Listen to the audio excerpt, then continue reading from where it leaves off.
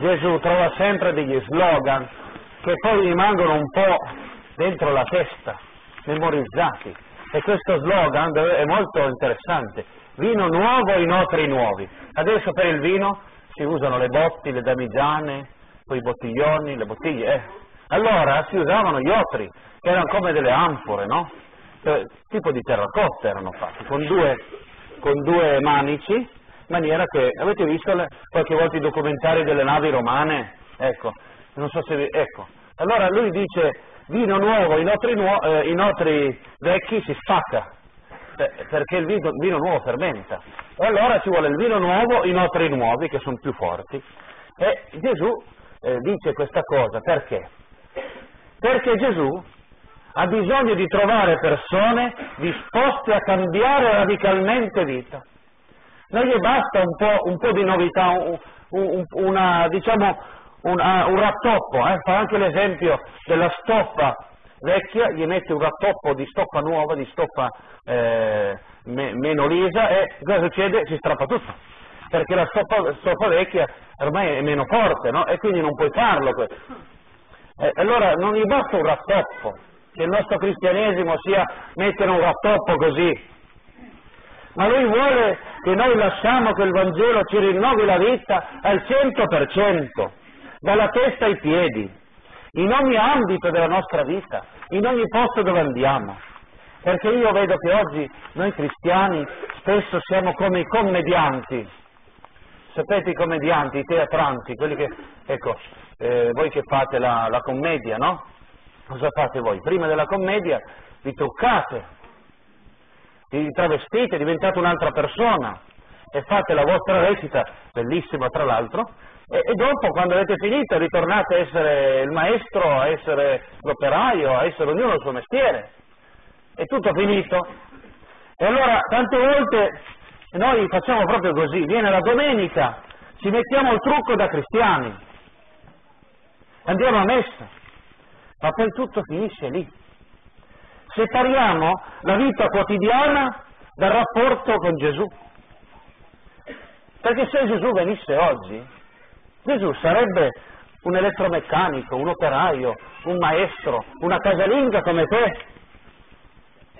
Perché Gesù era Gesù sempre, non era mica Gesù solo quando pregava, non era mica Gesù solo quando era nella sinagoga a pregare, Gesù era Gesù quando lavorava, quando giocava, quando faceva qualsiasi cosa.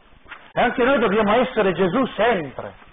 Per esempio, metti che nel tuo ambiente di lavoro non ci sia, che non ci si voglia bene, magari. Mettiamo questo esempio. Che non ci si parli o che ci siano delle invidie e qualche volta si critica anche la Chiesa, te vorresti difenderla, ma cosa fai? Difendi con le, con le armi degli altri? Gli altri criticano, critichi anche tu? Gli altri pregano, preghi anche tu? Ma te sei un cristiano, ricorda che tu devi essere Gesù, non solo devi parlare di Gesù, tu devi vivere il Vangelo lì sul tuo lavoro, si deve vedere lì che tu sei cristiano. I tuoi compagni di lavoro i tuoi clienti, i tuoi fornitori, no, su qualsiasi lavoro che fai, è al casalinga, i compagni di lavoro saranno eh, quelli, quando va a fare la spesa, no? Ecco, uno sempre ce l'ha i compagni, no? Ecco. I tuoi compagni di lavoro devono vedere in te un Vangelo vivo, vivente, che sei tu quel Vangelo. E allora pensiamo solo a questo caso, quando io so che qualcuno ce l'ha con me non posso fare la comunione. Eh? Vi ricordate cosa dice il Vangelo? Quando qualcuno ha qualcosa contro di te, tu lascia lì la tua offerta all'altare, vai prima a riconciliarti con tuo fratello e dopo. Eh, capito? Quindi non posso fare la comunione se qualcuno ce l'ha con me, che non, non ho provato a riconciliarmi. Allora se io vivo questo, andrò a chiedere scusa. Immaginate cosa vuol dire in certi posti di lavoro, per, per esempio, andare a chiedere scusa. Non c'è nessuno che chiederà mai scusa a nessuno, perché è troppo umiliante. E tante volte ti capita vai a chiedere scusa e gli altri ti danno una pacca sulla spalla, ma va là, rimangono imbarazzati perché non sono abituati. Ecco, vedete, basta poco. Vivere quel Vangelo che senti la domenica tutta la settimana. Perché io vedo che i cristiani ci sono tre categorie. Ci sono quelli che sono nel Nuovo Testamento, ci sono quelli che sono nell'Antico Testamento e quelli che sono ancora prima.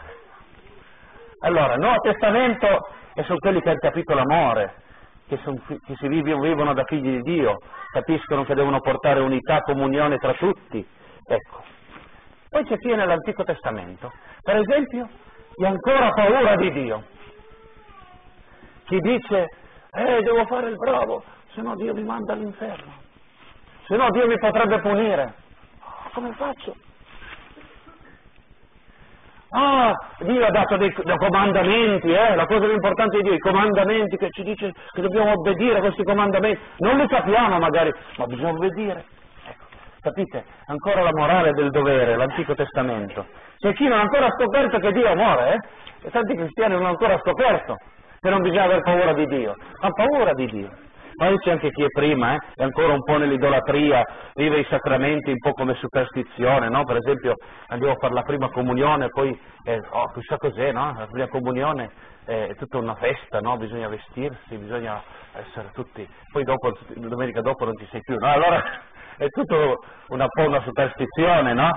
Oppure ci vuole sempre i miracoli, le guarigioni, eh, ma non bisogna giudicare nessuno, però ognuno pensi che, che, che, io non devo rimanere nell'Antico Testamento, non devo rimanere prima dell'Antico Testamento, io devo essere nel Nuovo Testamento.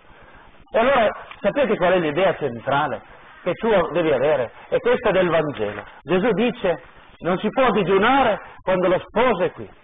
E chi è lo sposo? Lo sposo è Gesù. E questa è l'idea che devi avere. Tu devi essere innamorato di Gesù come tuo sposo. Gesù è il tuo sposo. Anche se tu sei già sposato, in realtà quello non è altro che un segno di un matrimonio più profondo che devi fare nella tua vita, il matrimonio con Gesù. Finché non hai capito questo, sei ancora nell'Antico Testamento. Per esempio delle volte mi chiedono a me, ma tu perché hai rinunciato di sposarti? Sapete, questa domanda mi manda in crisi, perché io non ho rinunciato a niente. Non è che la mia scelta è stata un no a qualcosa, la mia scelta è stata un sì. Perché nessuno vuol dire un no. E ho detto un sì a questa persona che non vedo, non sento, non la tocco, ma l'avverto con i sensi dell'anima. E questo mi basta. L'altro giorno ho incontrato un prete di 84 anni, Don Ugo, mi ha incantato. Diceva che da un po' di tempo parlo con Gesù come parlo con te, mi diceva così. Ed è una gioia grande, una grande gioia. E Gesù mi risponde nelle piccole cose di ogni giorno. Anche i miei fallimenti, perché lui si sente vecchio, deve ancora fare il prete, dice che non riesce a fare niente, che fa tanti fallimenti, fa fatica, eh, perché immaginate, 84 anni uno eh, ha la sua età, però anche nei miei fallimenti li vedo come delle grazie e dico Gesù ti voglio bene, grazie che sei venuto a visitarmi. Ecco, sapete cosa ho detto quando ho visto quella persona? Ho detto quello è uno sposato.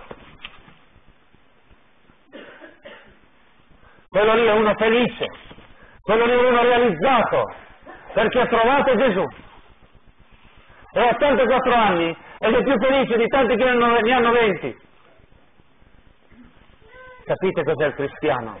Il cristiano è uno che ha sposato Gesù ed è felice e gli altri lo invidiano per questa sua felicità.